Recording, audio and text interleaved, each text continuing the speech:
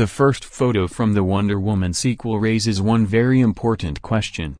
With the release of the first photo from the Wonder Woman sequel, Wonder Woman 1984, director Patty Jenkins essentially answered one big fat burning question fans had at the end of the first one, is Steve Trevor, Chris Pine, really, absolutely, definitively dead? Well, no, I'm guessing.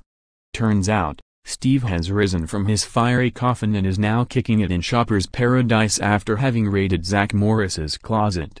Behold, proof. Welcome to Wonder Woman 1984, Steve Trevor.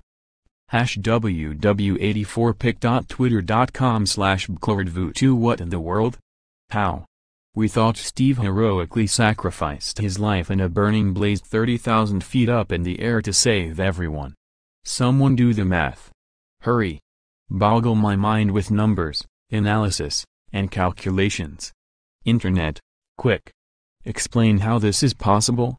pic.twitter.com slash c1oixk81j fans on Twitter are also speculating the above image is not Steve Trevor, but rather the son of Steve Trevor and Wonder Woman. MMMMK. Doubtful? Let's face it, we've been MCU ed. And if someone tells me Princess Diana of Themyscira used some DC version of a time travel gadget to go back in time, mess up and complicate timelines, and save our dapper pilot, I will have a meltdown. Well that was a cheap death. Dot dot dot we MCU now? Side note, Gadot also shared a much less controversial image of Wonder Woman having a deep, deep moment in front of lots of TV screens.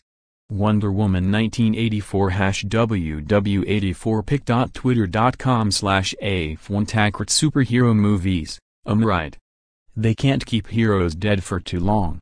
Also, I can't wait for this movie.